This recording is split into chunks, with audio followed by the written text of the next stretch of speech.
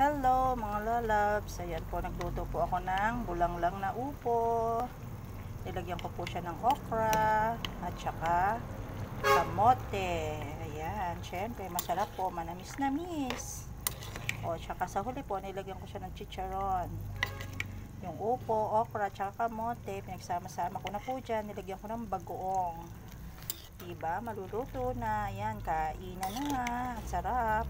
Diba, mga lalabs? Yung mga nagsasawa po, kumain ng karne, gulay. Masarap po ang bulanglang. Diba, mga lalabs? Hmm, sarap. Diba? Lalo na po sa mga may edad. Gusto po nila mga bulanglang lang. Eh, hindi naman ako may edad, mga lalabs. Bata pa naman ako. Siyempre, pag nasusuya tayo sa mga disarsang ulam, bulang lang.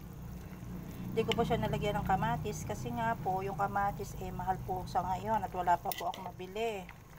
Kaya yan lang po ang aking inilagay. Pwede na po yan pero masarap naman kahit wala po siyang kamatis.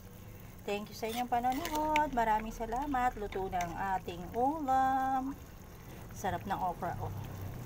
Hindi po siya sobrang lambot. Tsaka yung kamote. Ang sarap. Kainan na. Maraming salamat. Thank you for watching. God bless everyone.